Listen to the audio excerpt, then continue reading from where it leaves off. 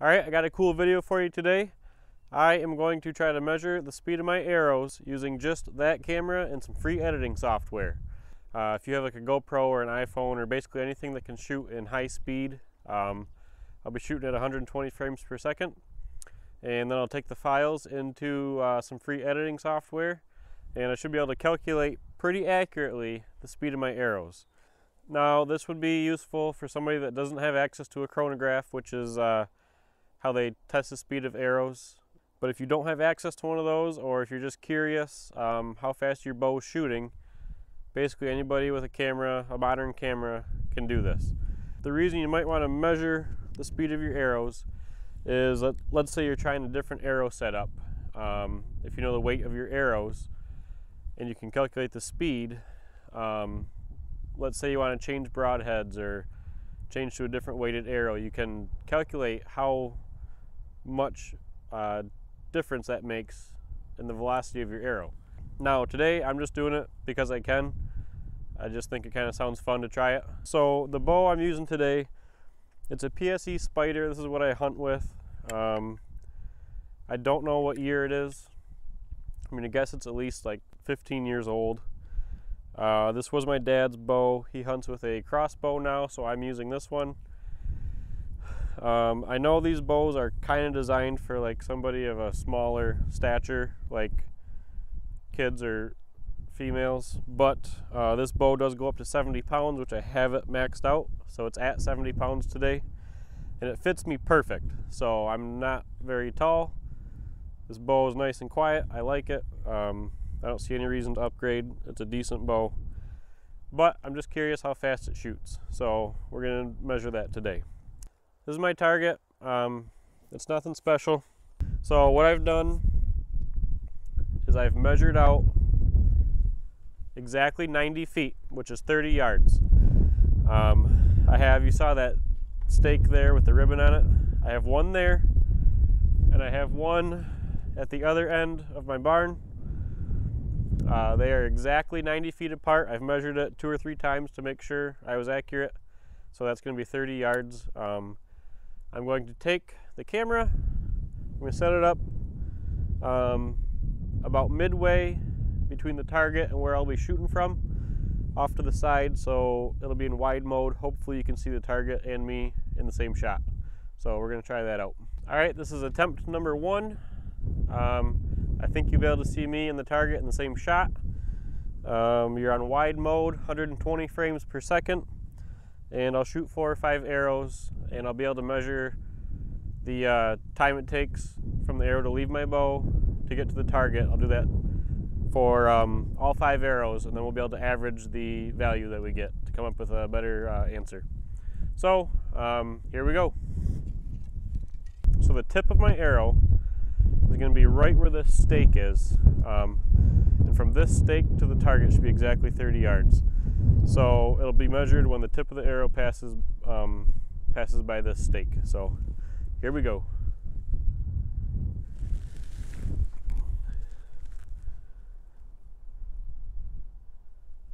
All right, guys, I'm going to interrupt just for a second here uh, so you can see what I got going on. So in the bottom left corner, uh, you'll see I added a timer that's counting in seconds and it's out to the hundredth of a second. Um, on the right side of your screen, you will see me with my bow. On the left side of your screen, you will see the target.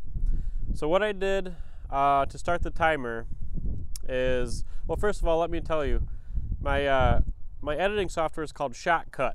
Uh, it's a free software; anybody can download it. And if you're into making videos, it's uh, got some pretty cool features. You can do color grading and all kinds of different editing things. I'm not going to go into detail in case you guys use something different. Basically, this is just how the mechanics of this works. So what I did is I zoomed way in on me holding the bow at full draw.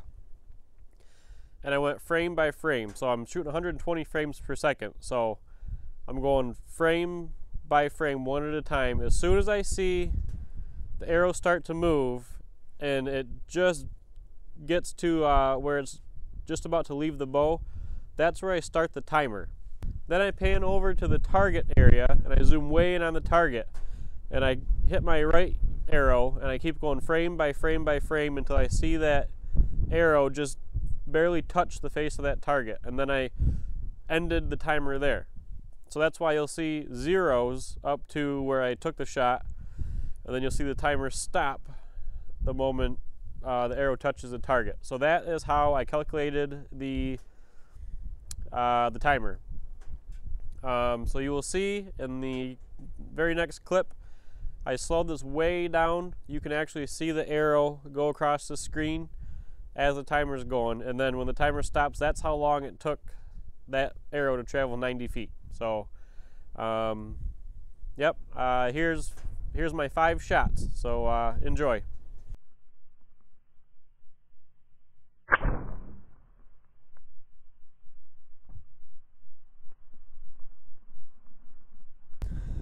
All right, there's one.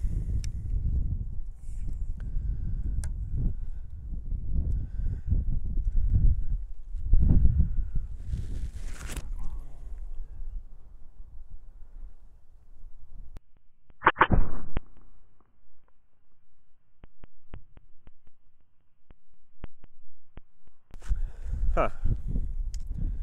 My string hit my the sleeve on my coat. Apparently this is a little bit too baggy, plus the wind's blowing in the wrong direction and it's making my sleeve blow towards my bow. Hopefully it doesn't do that. Hopefully it doesn't do it again.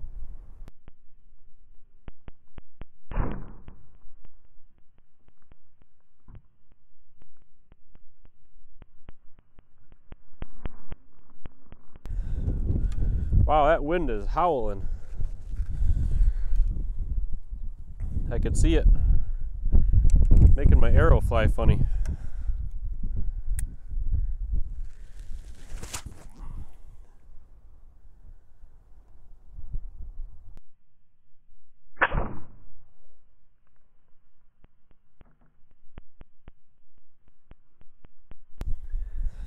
I fit the target every time, so that's good. It is uh, the end of April, so this is the first time I've had my bow out all year. I haven't shot in a couple months. So I'm a little rusty. But we're not we're not shooting for accuracy today. We're just shooting for the camera.